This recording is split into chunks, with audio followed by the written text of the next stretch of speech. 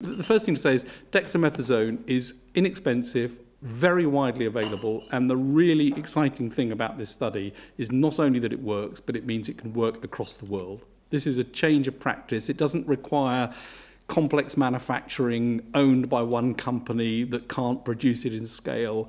This is a drug which can immediately be used across the world for this condition. And that's such an important thing. And your question was, what are we doing here? And um, the CMO will be issuing guidance to say that this should be used for clinical practice.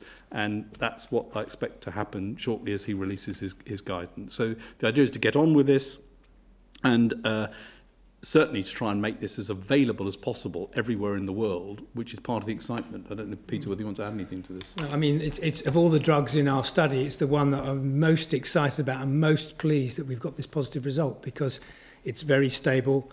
We know it extremely well. It's been used for 60 years. It's in the cupboards now. You know, the doctors can walk across to the pharmacy cupboard in five minutes and they can prescribe it. They know how it works and they know it's going to help. And so it can be done this evening.